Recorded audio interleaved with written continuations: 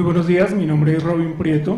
En nombre de la Clínica Colombia y de la Fundación Universitaria Sanitas, presento a ustedes el trabajo Utilidad de la colonoscopia en el estudio del paciente con diarrea crónica, hallazgos endoscópicos e histológicos, realizado conjuntamente con los doctores Germán Carvajal, Gustavo Reyes, John Prieto y Freddy Mendibelso. Existen varias definiciones de la diarrea crónica. Quizás una de las más aceptadas es aquella que nos menciona que es una alteración en las características de las deposiciones por más de cuatro semanas con disminución en la consistencia del bolo fecal, incremento en el número diario de deposiciones y con un peso mayor de 200 gramos por día. Las diarreas pueden ser de tipo funcional u orgánica, pero también pueden deberse a causas extraintestinales, ser secundarias a otras enfermedades o correlacionarse con estados postquirúrgicos. La prevalencia de esta enfermedad no ha sido definida de manera clara. Algunos autores mencionan que puede ocurrir hasta en el 5% de la población.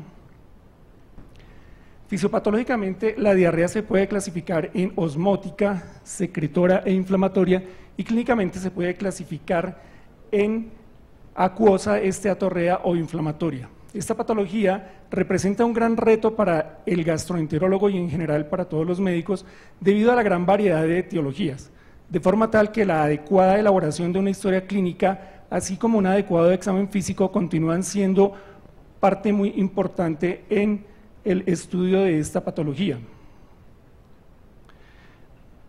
Eh, pero eh, también tenemos como gran ayuda la colonoscopia, Debido a la ausencia de estudios diseñados de buena forma y al consenso de estudio de la diarrea crónica, la mayor parte de las recomendaciones se basan en opiniones de expertos. Para la Asociación Americana de Gastroenterología, en una revisión técnica para evaluación y manejo de la diarrea crónica, se considera que faltan estudios prospectivos para establecer la utilidad y evaluar el costo del examen parcial o completo del colon en pacientes con diarrea crónica. Para el Colegio Real de... Para el Colegio Real de Patólogos, los hallazgos histopatológicos de las biopsias en colonoscopia solo tienen valor predictivo y clínico en pacientes con cuadro clínico de diarrea persistente y sangrado. Para la Sociedad Británica de Gastroenterología se considera como un indicador de seguridad en colonoscopia la toma de biopsia en todos los pacientes con diarrea crónica. Desde que se comenzó a utilizar la colonoscopia en 1970 y hasta hoy día, este examen se ha convertido en el método diagnóstico más completo en el estudio de patologías colónicas, siendo parte esencial del estudio de la diarrea crónica. Nos permite la evaluación estructural del colon, identificando alteraciones orgánicas que pueden ser las causas de la diarrea crónica y nos permite la toma de biopsias cuyo estudio histológico puede identificar, según algunos estudios, hasta en un 28%, pero según otros estudios, hasta un 36 o hasta un 48%, alteraciones como el adenoma velloso, la colitis colágena o linfocítica, la colitis eosinofílica, la mastocitosis con compromiso colónico y la melanosis coli por abuso de laxantes. Basados en esto nos, formulamos la pregunta de investigación, ¿cuál es la correlación entre los hallazgos de la colonoscopia y los hallazgos histológicos en las biopsias tomadas en pacientes con diagnósticos de diarrea crónica atendidos en la unidad de gastroenterología de la Clínica Universitaria Colombia?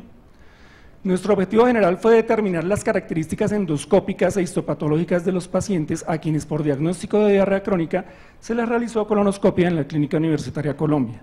Como objetivos específicos, determinar la utilidad de las biopsias por colonoscopia para el estudio de la diarrea crónica, identificar los sitios de toma de biopsia y su correlación con los hallazgos histopatológicos y determinar las patologías relacionadas con diarrea crónica de acuerdo a los hallazgos histológicos. Es un estudio retrospectivo, descriptivo, de serie de casos en un periodo de seis meses comprendidos entre enero y junio del año 2016. Se realiza un análisis estadístico mediante distribución de frecuencias absolutas y relativas expresadas en porcentajes. La población estuvo constituida por la totalidad de pacientes con diagnóstico de diarrea crónica a quienes se les realizó colonoscopia en el servicio de gastroenterología con toma de biopsias. Se incluyó población de ambos géneros, la colonoscopia fue realizada por gastroenterólogos y médicos residentes del Departamento de Gastroenterología según los protocolos de la institución y en todos los casos se requirió que se hubiese realizado intubación ileal, toma de biopsias en los diferentes segmentos anatómicos y un tiempo de retiro del colonoscopio de mínimo seis minutos. Este protocolo fue presentado al Comité de Investigaciones y al Comité de Ética en Investigaciones de la Fundación Universitaria Sanitas y cuenta con su aprobación. Como resultados, pudimos incluir 160 pacientes y como ocurre en la mayoría de las situaciones buenas de la vida, el mayor porcentaje correspondió a las mujeres, con 96 casos y 64% a los hombres. La edad promedio fue de 47 años y aunque en todos los casos teníamos el diagnóstico de diarrea crónica, había otros diagnósticos adicionales como pérdida de peso, rectorragia, síndrome de intestino irritable principalmente.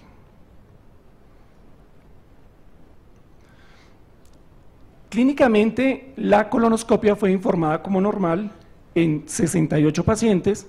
Otros diagnósticos que se informaron fueron presencia de hemorroides internas en 48 casos, colitis en 17, hemorroides externas, divertículos en recto y pólipos en 15 y otros hallazgos menos frecuentemente. El total general de biopsias realizadas en la población de estudio fue de 557, lo que describe una razón de 1 a 3, es decir, por cada estudio de colonoscopia se tomaron en promedio 3 biopsias.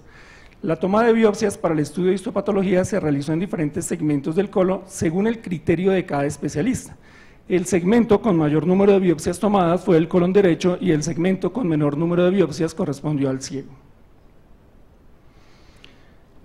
En cuanto a los resultados, encontramos un diagnóstico histológico en 52 pacientes que corresponde al 32.5% de los casos, acorde con la literatura mundial. La mucosa fue informada como normal en la colonoscopia realizada a 28 pacientes y anormal en 24 pacientes. Esto nos recalca lo que sabemos y es que aunque la mucosa tenga un aspecto normal, debemos realizar la toma de las biopsias. En 20 pacientes se tomó biopsias en tres segmentos y en 12 pacientes en cuatro segmentos, lo que nos indica que en un 61.4% de los casos no fue necesario tomar biopsia en todos los segmentos para llegar a un diagnóstico. Nosotros recomendamos la toma de solo tres o cuatro biopsias en diferentes segmentos del colon, aunque sabemos que en un medio como el nuestro, la toma de muchas más biopsias no implica realmente muchos sobrecostos. En la mayoría de los casos las biopsias fueron informadas como hallazgos normales. Aquí vemos los diferentes segmentos donde se tomó y el número uno corresponde a informes histopatológicos de normalidad. Eh, el otro de los diagnósticos que más se informó fue la colitis activa, colitis eosinofílica y colitis linfocítica. Los resultados histológicos, como mencionaba, arrojaron principalmente esos diagnósticos, el de colitis activa, y nos llama la atención que en cuatro pacientes se informó la presencia de colitis eosinofílica y en tres la de colitis linfocítica. En ocho pacientes se informaron la presencia concomitante de hasta dos patologías. Estos son los diagnósticos histológicos de nuestros pacientes. Y en conclusión, este es un estudio que nos permitió determinar las características endoscópicas e histopatológicas de los pacientes con diagnóstico de diarrea crónica atendidos en nuestra institución, al igual que la utilidad de la toma de biopsias. La principal causa histológica de diarrea crónica identificada en nuestros pacientes fue la colitis activa. Y como datos relevantes se identificaron cuatro casos de colitis eosinofílica y tres casos de colitis linfocítica en un periodo de seis meses, hallazgos muy por encima de lo informado en algunos estudios que estiman la incidencia de la colitis linfocítica en 3.1 a 5.5 por 100.000 habitantes por año, mucho menor para los casos de colitis eosinofílica. Las limitantes del estudio son estudios retrospectivos sin estandarización en el sitio en el cual se debían tomar las biopsias. Consideramos que se deben realizar estudios prospectivos con, segmentos definidos para la toma de biopsias. Recomendamos la toma de biopsias de cuatro segmentos,